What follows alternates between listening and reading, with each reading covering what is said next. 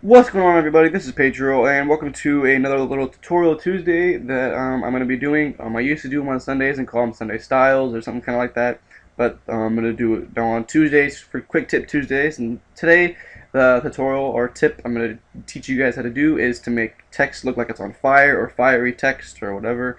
Um, and there's a few ways to do it, but this is the way I know how to do it and it's pretty quick and pretty easy, so we're going to go ahead and jump right into it get a new layer. We're going to just type fire, make it white.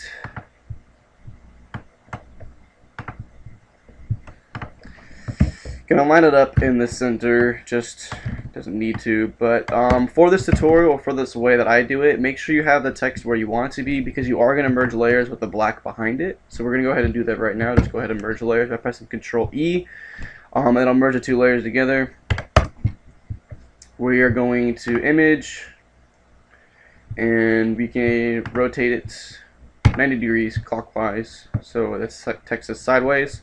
We're to go into filters um, stylize and down to wind. We're going to do it on uh, wind. We're going to go from uh, to the left or from the left so the wind uh, fire looks like it's coming to the top.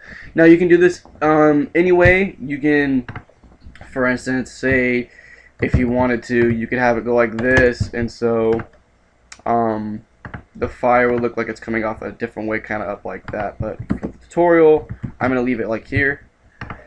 So I'm going to go down filter, stylize, wind, and uh, do it. And then if you press Control F, um, it'll do the same style again, and so it'll make it look like it's coming off uh, quite higher, I guess, so like bigger flames is what it's going to end up being. Um, we're going to go filter, distort, and ripple. We're going to go down to medium and change the percentage to 30. And these will add little ripples as the name is called to make it look more uh, fire-like.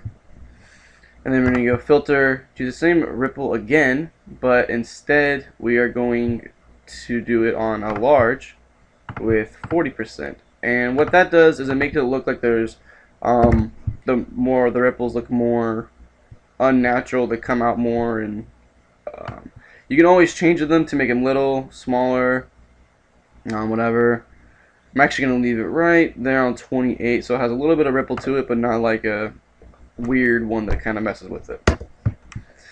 Alright, then we're going to go ahead and bring in a, a, blur to this. We're just going to do a Gaussian blur on 0.8, anywhere from 0.8 to like 1.5 depending on what you want um, to change it. I'm just going to go ahead and do it on 0.8. Then we can go ahead and rotate the canvas back. So it's back up straight. Um, Alright, I'm going to go ahead and bring in a levels. Let me find where I have it at.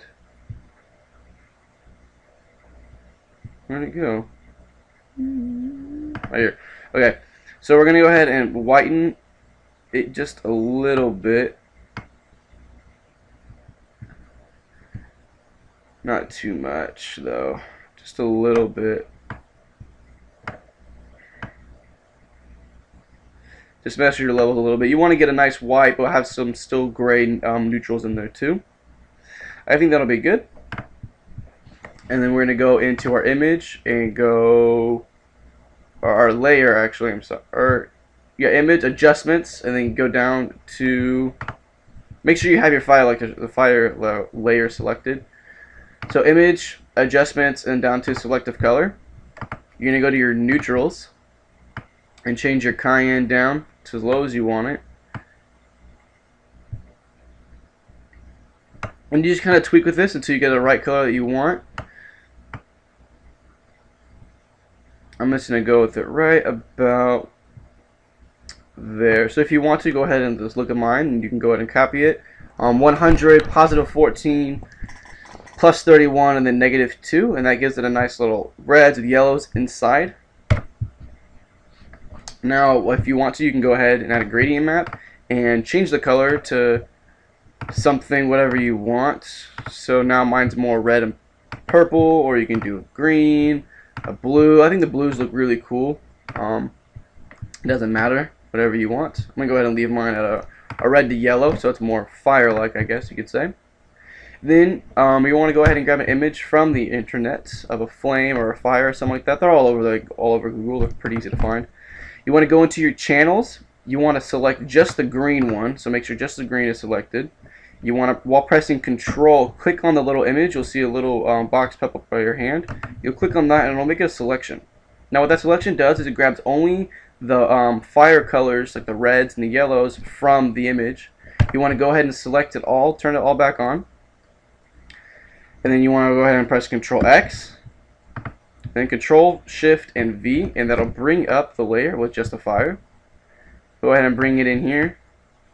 And now that it's in here, you can uh, make adjustments to it however you want to make it look more fire-like. Put it um, wherever, do some erasing, um, whatever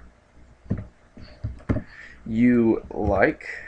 Hold on, I got a crop tool from accident. Um, to make it just like I said, however you like, whatever suits you. Um, the reason why I don't just take the layer and set it to screen, uh, fire layer set to screen, and for most of you who know, um, what screen does, it just takes out the blacks from the image. So instead of doing that, I'm going to show you guys why you don't do that. Um, if you were to press screen, which takes the blacks out of the image, um, you can't really see the fire over the um, text, which you can, if you wanted, if that's what you wanted, then you can do that. Um, but it doesn't look like the text is actually on fire. Or if you were to put it, to say linear dodge add, it's the same thing where it's just, uh, you can't see it over. Now if you wanted to do it um, a different way, what you could do, uh, if you press Control I, and then set it to multiply, that takes the negative of it and then it does it just um, takes out the whites. So it's kind of a different way of doing it. But see, this one only shows on the white and it doesn't show on the um, on the black. So if you wanted to do that way, you could do it that way too. I hope this tutorial helped. I hope you guys learned something. Um, remember to just um, finish it off. I'm not gonna first take a tutorial, just make it faster. Um, and you can put your fire wherever you wanted to make it look different. Um, I hope you guys, like I said, like this tutorial. There'll be more later on. Leave a comment below of what you'd like to see for the next tutorial, and I will see you guys at the next video. Take care.